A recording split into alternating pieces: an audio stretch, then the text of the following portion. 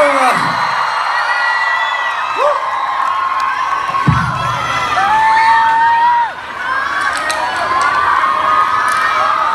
You guys are wearing me out.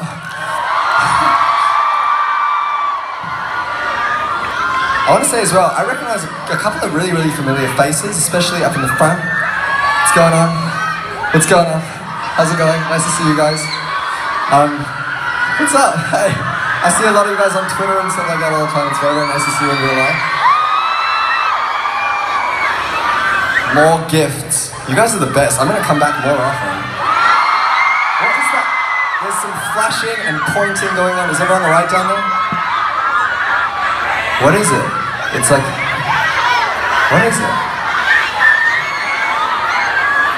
This is this a med- medical emergency or is it like a gift? I'm just getting so many. This is like Christmas for me. You guys don't get it. I'm like, I don't want this show to end ever.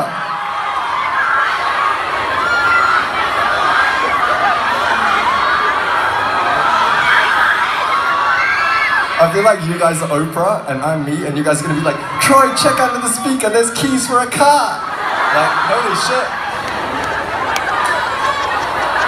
Oh my god, more artwork. Thank you guys so much. This one says fools. I fucking love you too.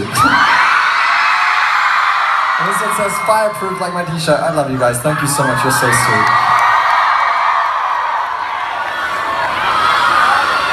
At this point, I'm like essentially stalling because, to be honest, honest, we're kind of at the end of the show. That really, really bums me out.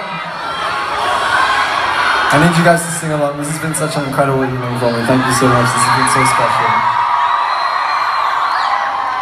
This is Talk Me Down. Thank you.